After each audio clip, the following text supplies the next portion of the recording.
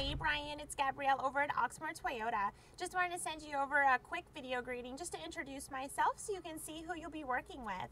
I received your request for that 2006 Toyota 4Runner this morning.